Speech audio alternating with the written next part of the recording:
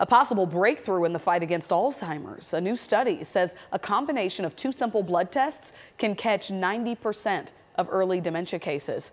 Researchers say the findings could lead to a blood test that can be used in a primary care physician's office, much like a cholesterol test. Nearly 7 million people in the U.S. and more than 32 million worldwide have Alzheimer's.